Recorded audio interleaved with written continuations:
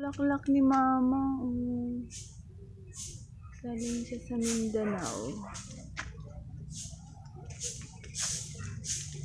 Ganda. Ito rin ang mangga din. Ang daming. Hmm, Ang ganda. Ang bango niya.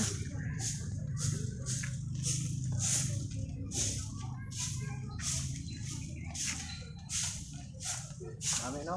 Oo. Tapos samot siya. Yan. Nami nami.